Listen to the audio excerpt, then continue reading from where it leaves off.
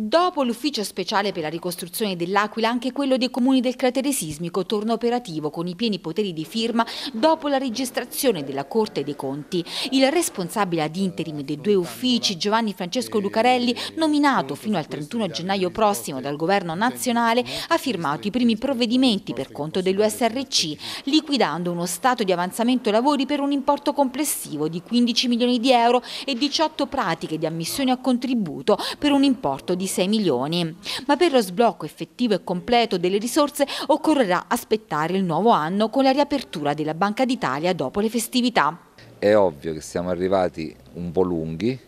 alla vigilia di Natale, tutti sanno che domani la Banca d'Italia chiuderà gli sportelli, quindi io penso che probabilmente gran parte del, dei SAL giacenti non riusciranno ad essere liquidati. Però è una buona notizia perché dal, primo, dal 2 di gennaio possiamo riprendere l'attività normale fino al 31 di gennaio che è la scadenza del, del suo interim. Servivano alle imprese per poter provvedere ai pagamenti di fine anno, quindi tasse, eh, tredicesime, subappaltatori, fornitori e quant'altro.